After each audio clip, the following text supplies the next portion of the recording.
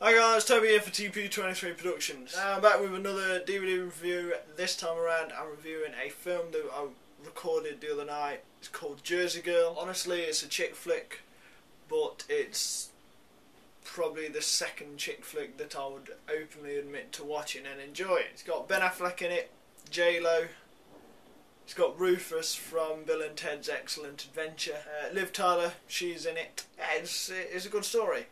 Uh, no other real stars apart from them.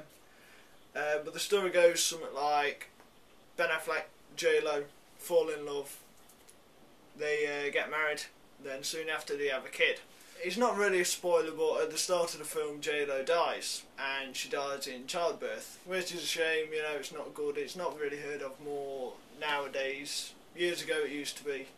Um, but yeah, J Lo dies. Ben Affleck has to raise Gertie, as he calls her, in name of his ex-wife, dead wife, J Lo. Uh, he names her after her really, and uh, yeah, he becomes a single dad, and he realizes how hard it is to raise a daughter in New York. So in the end, he loses his job, and he has to move in with his dad and that's where the story picks up really. He, uh, is the big shot in the small town, gets a bit of a love interest from Liv Tyler. Now, in all honesty, I really enjoy the film. It's a bit of a tearjerker. Uh, if you're a bit of a tin man and you've got no heart, then it's uh, dead inside.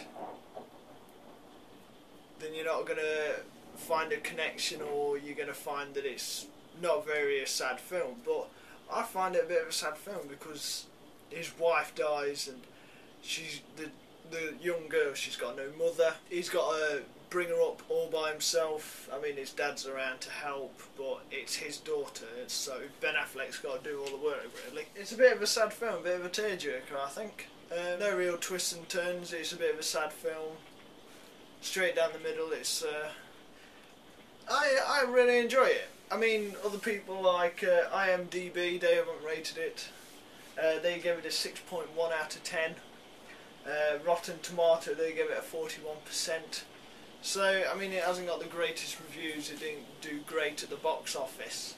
Uh, J-Lo's not the greatest actress in the world, really, um, but she's only in it a small amount of time. It's not a huge blockbuster, but I find it enjoyable. If you like Ben Affleck, J-Lo's in it a bit. Bit of a sad love story, but it's uh, a film about a big shot loses his wife, has to raise the daughter, and he moves in with his dad. it's a bit of a roller coaster ride, really. JLo's in it for a small time, mother loss of childbirth. It's a bit of a tearjerker. Uh, personally, I enjoy it. It's not the biggest grossing film at the box office.